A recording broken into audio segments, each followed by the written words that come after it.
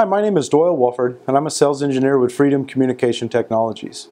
I'm here today to demonstrate the R8100 service monitor, and today we're going to talk about testing a P25 radio in digital mode. We're going to do a basic transmit quality test of this radio, and we're going to do a receive quality test of the radio.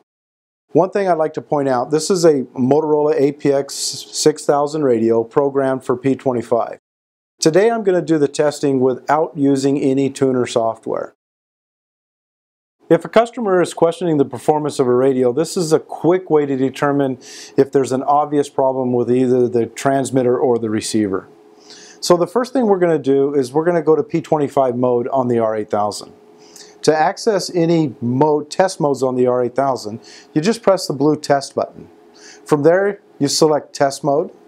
And then down on the bottom, I'm going to select Project 25. This brings up the Project 25 test menu.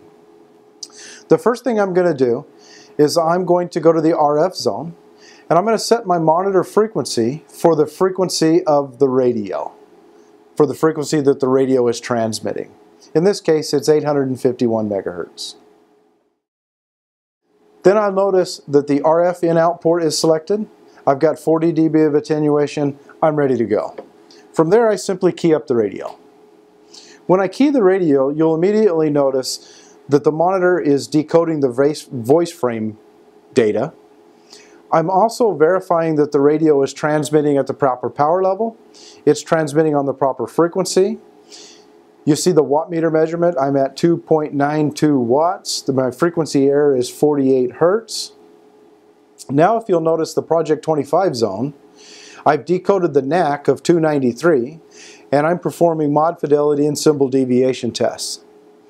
So that quickly, I've verified that the transmitter on this radio seems to be working properly in P25 mode. Now, I want to test the receiver of the radio to determine if I've got proper sensitivity couple of things I'm going to do first. First, I'm going to go back to the RF zone and I'm going to copy the frequency to the generator. That way when I go to generate mode, I don't have to re-enter that frequency. Next, I'm going to go to the P25 zone and I'm going to copy the NAC to the generator. That way when I go to generate mode, I don't have to re-enter the NAC code as well. So from there, I'm just going to hit generate. So you'll notice in the RF zone, that my transmit frequency is set for 851 megahertz, but that's a dead carrier. We're transmitting just 851 megahertz. So what I'm going to do is I'm going to go back to the Project 25 zone. I'm going to select test patterns and notice that I can generate any of the test patterns defined by the P25 standard. In this case, I'm going to select 1011 hertz tone.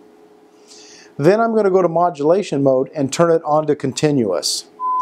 And you'll notice that we hear a 1 kilohertz tone coming from the radio. To finish testing the sensitivity of this radio, again in digital mode, I'm just simply going to go back to the RF zone. I'm going to select output level, and I'm going to reduce the output level either with the down arrow key or the tuning knob until the radio squelches. In this case, it squelched at minus 123. So we've got a pretty good idea of the sensitivity of this radio, again in digital mode, without using any of the tuner software. I hope this has been helpful. If you have any questions, please feel free to give me a call. My phone number is 602 721 5889 or visit our website anytime. The website address is www.freedomcte.com. Thank you.